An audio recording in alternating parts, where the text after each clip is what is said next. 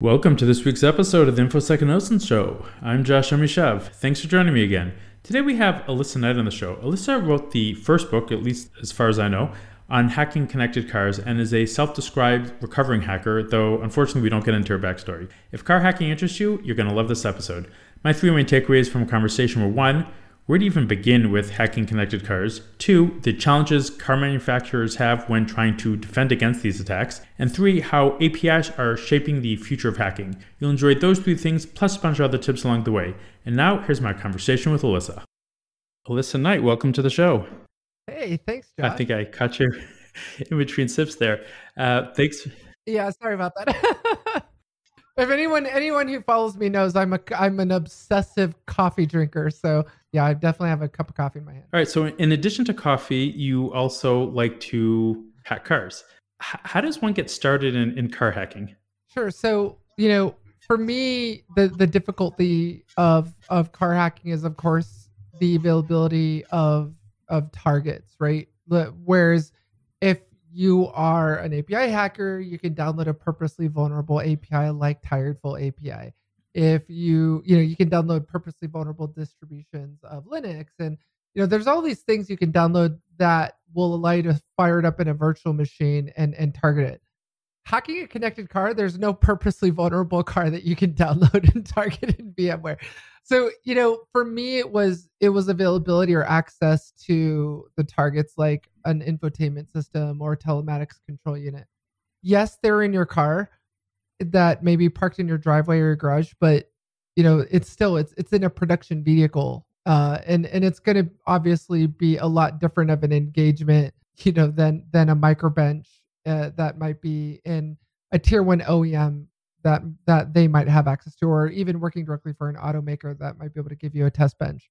So for me, I was very blessed in liking the fact that I got to cut my teeth on this with the tier one OEM and an, an automaker in Germany which is really what got me very involved into car hacking is is the accessibility to all of these devices that I could target uh, and that were made available to me. So, how does one go about doing it? I think definitely access to a vehicle that you can target or hack. You can buy infotainment systems off of eBay. So, they have head units that you can buy off of eBay on there. Uh, there's also some telematics control units.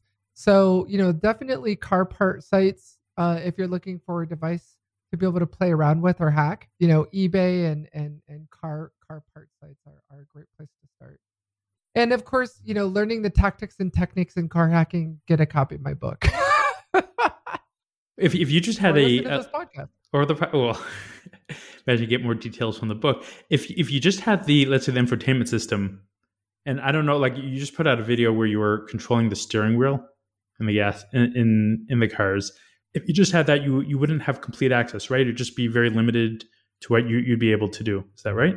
Right. So there are different ingress points into a car for hacking a connected car, right? So in the in the most recent research of the video you're referring to was the law enforcement vehicle hack. Those hacks were actually done and were, were actually performed through the APIs for the car maker. So I'd hack the APIs and leveraging the APIs, I was able to take remote control of vehicles, start and stop the engine, lock and unlock the doors, pull data from the cars, stuff like that. All this data going to the APIs. Pretty much every car made after 2001 communicates with APIs. So people think, you know, I, I, I can't be hacked because I'm not driving around in a Tesla. Really, any car made after 2001 is connected and they're communicating with APIs. So one ingress point is over GSM, which is the telematics control unit in the car. You can either go at it through the APIs, you could use a, a rogue base station and get the car to associate to your rogue BTS and attack it through the GS through GSM that way. Or there's also Wi-Fi and Bluetooth, which is typically through the infotainment system of the car. In some cases, the telematics control unit, if you think of it, it's kind of like the router or the modem for the car that's actually got a SIM chip in it, like a cell phone that telematics control unit is typically connected to the infotainment system of the car over Wi-Fi. Sometimes it's another, you know, like a USB cable, but in the engagements that I've performed pen testing of cars, it's typically connected over like a private wireless network between the telematics control unit. So those are the three main ways that I attack cars is through GSM, Bluetooth, or Wi-Fi. There's you know there's other ways. For example, um, there's a lot of car hackers out there that will go after the OBD2 port, the diagnostic port within the car underneath the steering wheel. I I tend to like to focus on attacks on cars remotely that I can, you know, launch from my living room versus having to actually be next to or inside the car. So, what are the kind of units that you would, if somebody wanted to do and they didn't have a client with the hardware, what would they need to get? So definitely, you know, like I said, I've I've found, for example, Harman devices on eBay. So you know, you've got these different manufacturers that manufacture head units slash infotainment systems, and those are available for purchase on eBay. What what is a head unit? So the head unit is is basically like the screen in your car where you control the audio. It's the infotainment system. It's got all the buttons on it. It's on your dash. Th- that's typically one of the attack vectors in a connected car. So because usually the head unit has connectivity with it. It's got a USB port. It'll have Wi-Fi to provide uh, you know in vehicle wireless internet access. It'll have uh, Bluetooth so it's got these communication interfaces that you can interact with. The other thing is the telematics control unit. So the telematics control unit or TCU in a car is like the modem or the router for the car. It's where the, the SIM chip is within the car that allows it to communicate over GSM and phone home to the backend in what's called OTA or over the air updates. So when I was in the most recent video of me hacking those federal and state law enforcement vehicles on my YouTube channel, uh, I've published some videos around this. I'm actually hacking those cars through the APIs that those cars communicate with. So those cars with their TCU communicate over GSM to the backend, which are uh, essentially API servers. So what I did was I found vulnerabilities in the API servers that allowed me to remotely control these vehicles with my own attacker's token uh, with my account. So, in order to attack their car, you're basically essentially attacking the backend API, which then sends instructions to the car. Correct. So when I like starting the engine, it's a simple command. It's an it's an it's an API request.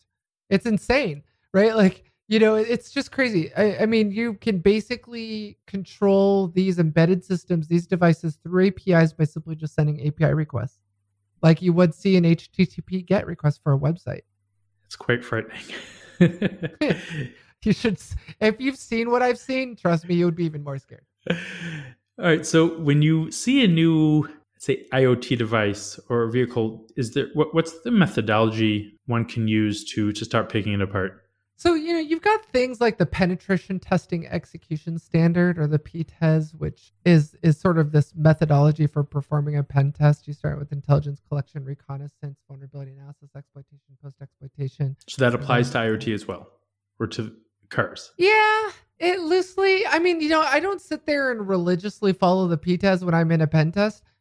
The I can tell you that Alissa Knight's methodology, my the way I perform pen testing, especially of labyrinthine systems like embedded systems or connected cars uh, or APIs, I typically just look at how the app works. I look at so if I'm if I'm hacking an API and it's a mobile API, I'll download the mobile app and I'll intercept the traffic and I'll look at it.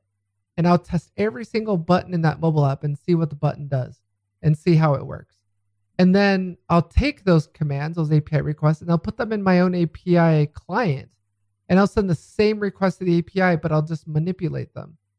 And so to me, that's really what hacking is. It's nothing more than just learning how a system works, learning how the car works, learning how the app works, whatever, and then just sending a stimulus that the developer didn't expect to receive. That's all hacking is to me. And you know, so for me, yes, there's these frameworks for how you are, you know, can perform a pen test step by step, but for me, it's it's it's a lot more simpler than that. I simply just try and figure out how something works, and then I pull it apart. But then and, the and the curve scenario, though, so can you? Like if there's a web app, you you set your proxy, you set your browser use a proxy, you can capture the the traffic. Right. In the car scenario, how how does that work? So in the car scenario, if I'm targeting the APIs, I'm the air, the car makers make mobile apps, right? That you can remotely control your car with. uh, a lot of the like if you buy a Mercedes, if you buy a Honda, a Ford, whatever, they have an app now that lets you, hey, I locked my keys in my car for some, somehow. I can unlock it with my mobile phone. So these are all API requests that are sent from the mobile app to the API. So when I'm when I'm performing a penetration test of a car, first I'm going to try and see if it's possible to hack a car through the API. So I'll grab the mobile app, and then once I grab the mobile app, I will then intercept the traffic and try and figure out how the API works and how the mobile app controls the car. So that's one way. If I'm physically local to the car, I'm I'm around the car, I'll I'll actually fire up a Rogue base station and see if I can get the car to associate to my Rogue BTS. And if you control the network fabric of that the car is using to communicate with the backend, you can intercept those packets. You can look at those packets and see what is actually being communicated between the car and the backend, and then manipulate that. So, well, how close do you have to be to the car to do that? I'm afraid to ask this question. Well, yeah, so you know, you can pick yourself up like a BladeRF um, from Nuand. You, you, as long as you have your SDR software defined radio, you know, you can. It depends on on you know what kind of antennas and signal you're pushing out. But I mean, basically, you want to project the strongest signal than the legitimate cell tower. So if you have a if you have a BladeRF hooked up to your laptop, you want to be as close as possible uh, and project the strongest signal. So the car associates to your rogue base station instead of the legitimate cell tower that may be nearby. And by design, it's going to associate to your rogue base station if you're projecting the stronger signal. Okay. So you got to be pretty close? Yeah. I mean, I, I've I've been, you know, down the street. I've been in the same parking lot. I've been right up next to the car. Uh, okay, that's not that close. yeah, I mean, yeah, it depends. I mean, you could be as close to the. I mean, you know, it's it's all about it, it's all about the vicinity to the legitimate cell tower. If there's a cell tower like standing right next to the car, you're going to want to project an even stronger signal than that, you know. So, mean, but typically, in most cases, the cell tower isn't going to be that close. It's not like the car's going to be right up on top of the cell tower. So, you know, usually it's going to be many blocks away, you know, several miles away. I mean, you just want to be projecting a stronger signal than the legitimate tower. Are there any defenses that car manufacturers should be putting into the vehicles to protect against attacks like this? Yes.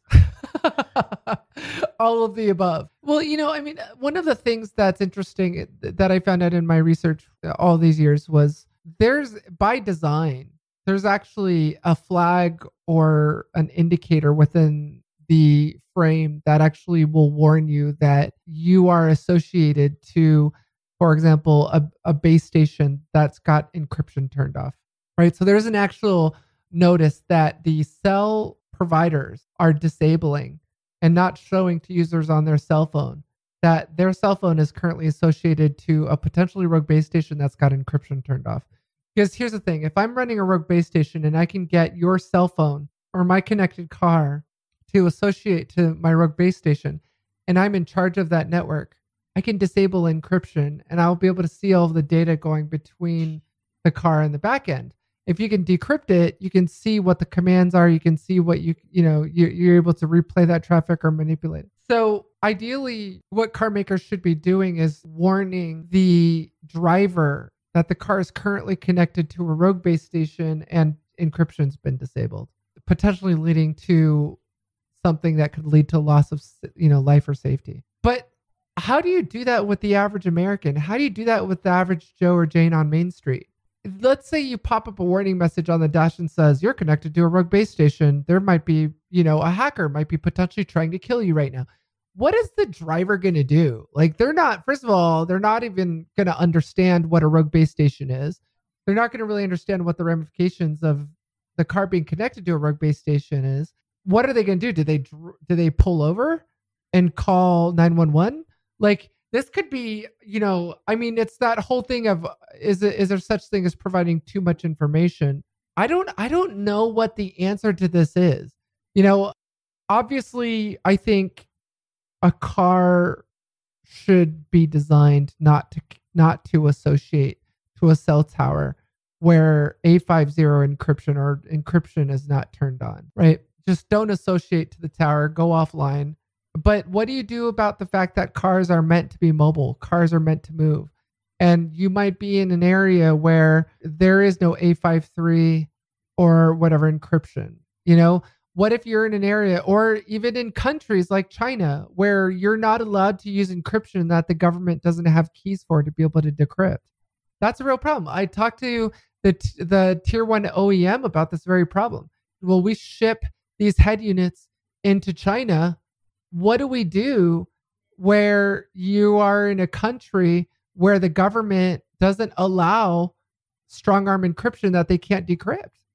You know, so we have to allow this head unit to be able to associate this car to be able to associate with uh, a station that has encryption turned off.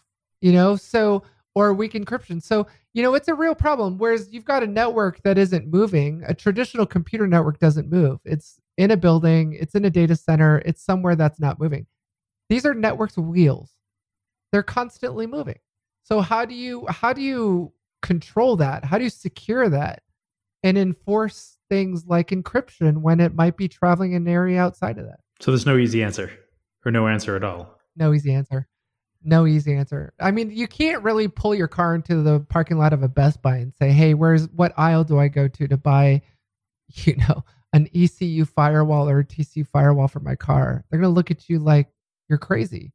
You know, there's unfortunately on the consumer side there's nothing we can do. We just have to do better and be better when we're shopping for cars to ask those hard questions and when we're researching what car we want to buy start holding manufacturers responsible for making sure that they pay the extra money for security controls like ECU and TCU firewalls and that they've performed penetration testing of their vehicle.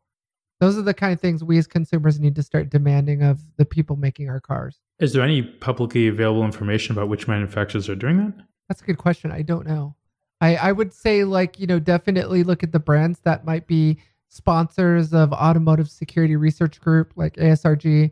Uh, look for look for car makers that are heavily involved in industry security conferences like you know SCAR, that sort of thing. It just you know, I have my particular brands that I have a lot of confidence in simply just because I've performed penetration testing of their cars. So I I'm driving around in a car that I hacked. You know, I, I I was part of the vulnerability management process for addressing those vulnerabilities and issues and i'm driving in that very car so you know um, i have my particular cars that that i have a lot of trust in because i know that they require penetration testing from all of their vendors that they work with a lot of people think that cars are made and built by that car maker that's not the way it works mercedes honda ford they're just doing nothing but creating this big bastardized stack of other companies' products.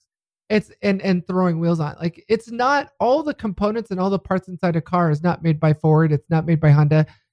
They they're they're piecing together all of these different products from different companies. So the head unit is made by a company, the telematics control unit is made by another company. You know, what you want to do is these automakers is you want to make sure they're requiring penetration tests of their vendors they work with, their suppliers. You want to make sure that you know they're they're adhering to automotive spice and a lot of these other risk management frameworks. You want to make sure that they're they're showing some sort of report that they identified and mitigated vulnerabilities and did static and dynamic code analysis because there are more lines of code in a connected car today than there's in the F-35 Joint Strike Fighter. You know, there's there's over 100 million lines of code in a connected car today. You know, it's insane you know, it's it's our cars are nothing but computers. They're software. So Akamai had a study a few years ago that I think was 83% of of their the CDN traffic that they see are APIs talking to each other. What's that mean for the for the future of hacking?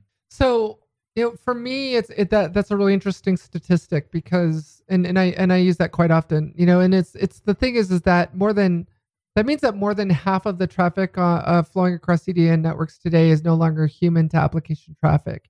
And we're now definitely in a world of APIs. We're in an API first world now.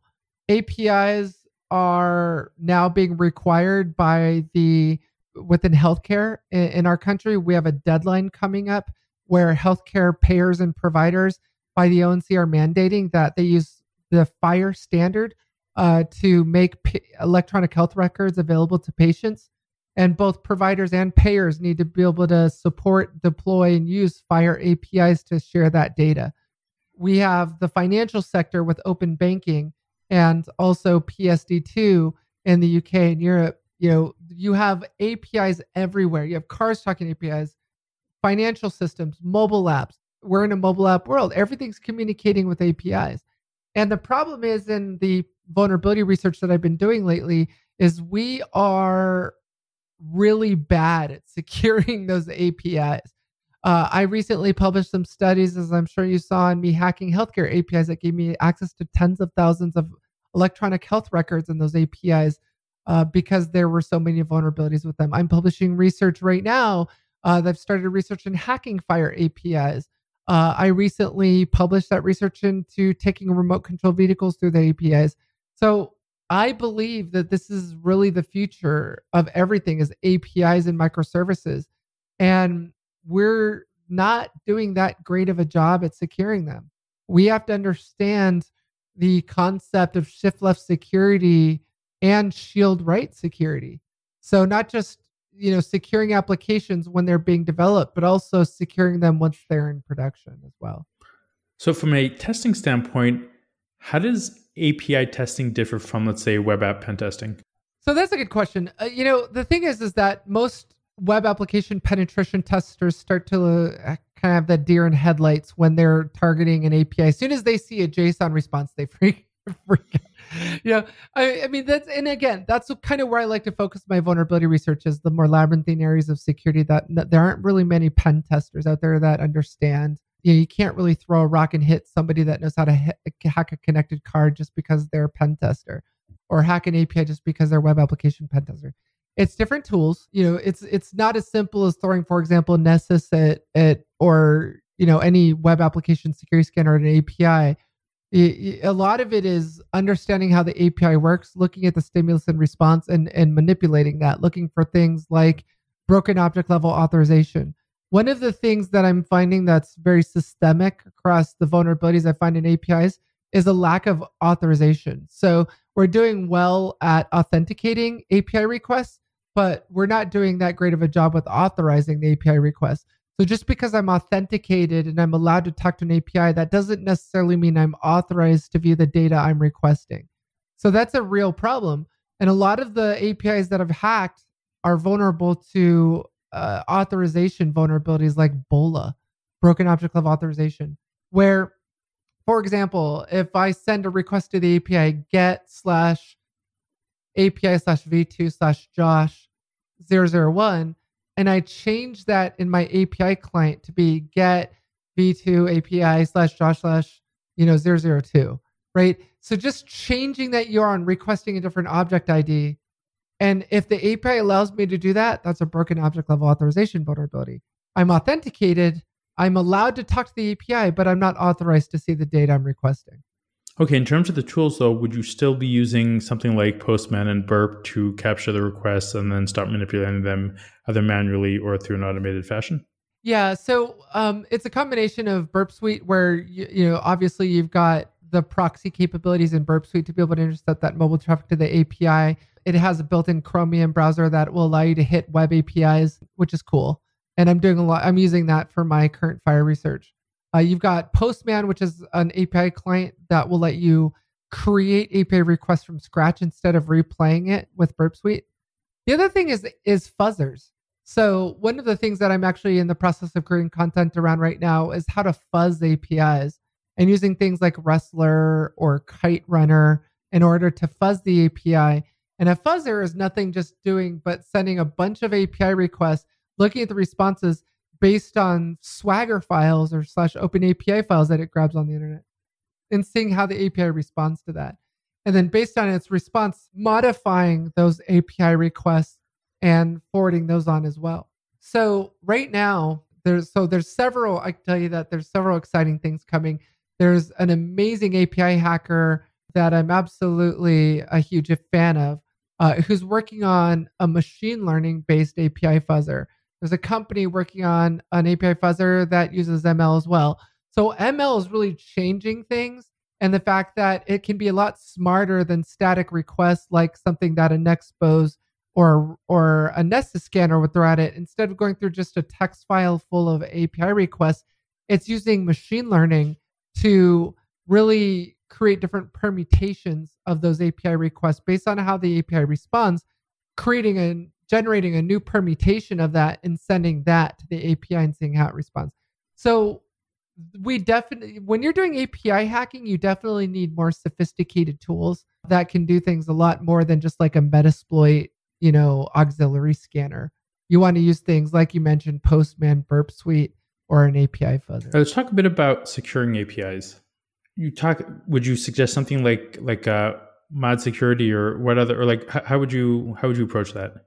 So I, I did this recent live stream, and if you haven't seen it yet, I would urge your audience to go take a look at it on my YouTube channel. So I did this live stream on the state of the API security market. I actually had the opportunity to present on the state of the API security market to Gartner, uh, which was to me very ironic. But you know, the API security marketplace is very nascent right now. I believe it's very nascent. It's still trying to figure itself out. It's very much kind of I think the market has an identity crisis right now at the moment there, there's all sorts of different it's very fractured. There's all sorts of different approaches to securing apis you know web application firewall companies think that you can do it with a waf.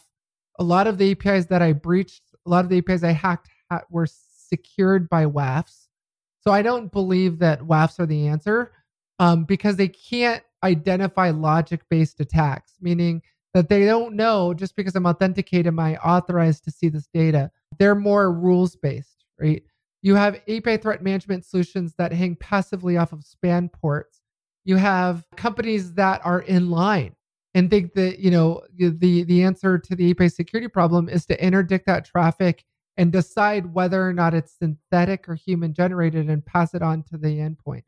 So you have all these different solutions and different approaches to API security. You know, I think I think a lot of them are great approaches. Uh, you know, you have the 42 crunches of the world that it's shift left where they actually insert themselves into the IDE and analyze the code as you're writing it and tell you and yell at you when you're doing something wrong and securing it once it's in production. You have, you know, traceable um, that's doing things with distributed tracing and asset inventory of your APIs and telling you what kind of data those APIs are serving. You have you know um, salt which is you know believes that the answer is is hanging off of a passive span port instead of being in line and that you shouldn't proxy it. You know so you have you have Approov that believes that the answer is compiling an sdk with your mobile app and nothing can communicate with your api unless that sdk uh, unless that api request contains a token generated from that sdk so you have all these different approaches to api security and they're all great solutions and great approaches it's really it depends on the kind of data you're serving. It depends on the architecture. It depends on you know what exactly you're doing for your environment. Okay good answer. All right when after you run a pen test against an api uh, or any application you'll normally come up with a list of vulnerabilities and, and the company's probably running their own vulnerability scanning as well. And there seems to be this massive information overload with the amount of vulnerabilities that need to be taken care of. How can companies manage the risk that all the their applications have in a more effective manner because the the time from discovery to patching seems to be getting longer and not shorter. Yeah, I agree with you. And and this is a systemic problem and has been for many years. You know, if you look over the last couple decades, we you know, we really haven't gotten any better at this. You know, it doesn't matter how many tools are out there for identifying vulnerabilities and missing patches. You still have that breakdown, but you know, in DevSecOps and you know the, the, breakdown between infrastructure and operations and security, and actually getting the vulnerabilities that have been identified mitigated. Even if you create help desk tickets and assign them to IT people to take care of, you still have this long time between vulner- vulnerability and patch identification and actual mitigation. So, first and foremost, let me preface this with the fact that I hate the concept of CVSS scores. I know I, I've never liked them. I don't think they're effective. You have to patch vulnerabilities that have a CVSS score of X and above. I mean, it it I think it's dumb. To me, I what I care about are the vulnerabilities that I I can remotely exploit and give me a shell on the machine or give me you know remote code execution. You know the critical vulnerabilities that are not being firewalled off. I can reach from the internet. You know those kind of things. what are the vulnerabilities that I exploited during a penetration test in a live fire exercise? Those are the vulnerabilities that should be patched immediately. I'm a big fan of breach and attack simulation. You know, instead of this concept of generating a 6,000 page PDF from Nessus and saying, go fix these, breach and attack simulation gives you like one or two things. Hey, here's the kill chain that it followed in order to gain access to this secure enclave where some your CDE environment is or whatever. So I think I think the answer to your question is I I don't think I agree that the approach is to run a vulnerability scanner and give that scan report to the customer.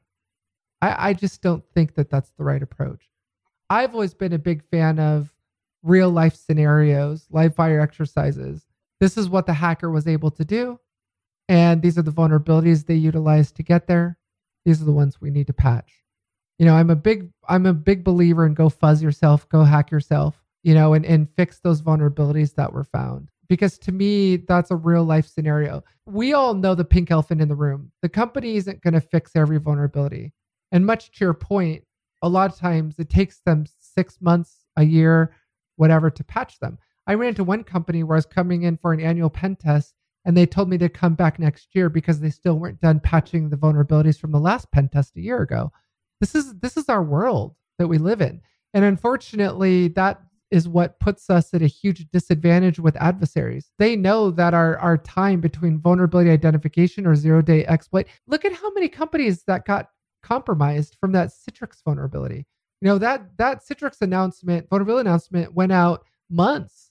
And months later, before that, or months after the announcement, we were still dealing with incident response cases with companies that hadn't patched that Citrix vulnerability. So, you know, it doesn't matter if it's a zero day announcement or you find it yourself, companies are taking months to get things patched. And, you know, I think I think companies need a really tight vulnerability and patch management process and procedure. I think it needs to be enterprise wide. I think um, the CTO and the CISO need to come together and, and come to agreement on what what vulnerabilities are patched immediately and what you know what aren't. Um, and I think those are those should be the critical ones. Those are the ones that are found in a pen test, identified in breach and attack simulation, or identified as critical. Cool. So you talked about your uh, your car hacking book, and then we briefly talked before about the uh, the API hacking book that's coming up. When, when can we expect that? When can we get a copy? I'm excited. Yeah, so we're gonna be. I'm actually gonna be making a major announcement regarding that API hacking book here soon. But that's that's good. That's due out in the beginning part of 2022. So that is, so we you know we just got the contract. We're working on actually writing the book. We're expecting it to come out like Q1 of next year. So if we if we beat the timeline, it should actually be the first book out on hacking APIs. Um, but I'm going to be doing several book launches and book signings early next year um, at different conferences um, that I'm planning. But yeah, so Uh, Q1 of 2022, I think is is the best answer. Okay, and the book focuses on offensive testing for APIs, right? Offensive testing, yeah. We're also going to be talking, obviously, about securing APIs properly. So we want to not just kind of put out there that the sky is falling. We want to give guidance to CISOs and defenders on how to actually properly secure their APIs because I don't believe, based on my empirical data of my actual API hacking research, that APIs are being secured properly right now. They're not. You know, a lot of organizations are still using WAFs to secure APIs or API management solutions, API gateways, secure their APIs, and it's the wrong tool for the job. It's like trying to hammer in a screwdriver with a hammer. All right, to close things up, if uh, people want to learn more about you, where can they where can they find you? Sure. So definitely subscribe to my YouTube channel and uh, hit that bell icon for new uploads. I, I live stream and upload every week. Definitely connect with me on LinkedIn. Follow me on Twitter. Uh, so I you can find me in all the, the the typical places: YouTube, LinkedIn, and Twitter. Awesome. Thanks so much for coming on the show. I appreciate you having me, Josh. I, I look forward to possibly being back again, and uh, especially when the book is is published. Definitely. All right, that's it for this week. Thanks again for listening and for leaving reviews. If you have any comments or questions, I'd love to hear from you. I'm at Jamus on Twitter or drop me an email at podcast at breachsense.io. And if you're part of a security team that needs visibility into your employees, customers, or third party suppliers' breach credentials before criminals exploit them, head on over to breachsense.io to apply for a free seven day trial. That's it for this week, and I'll be back in your earbuds next Thursday morning.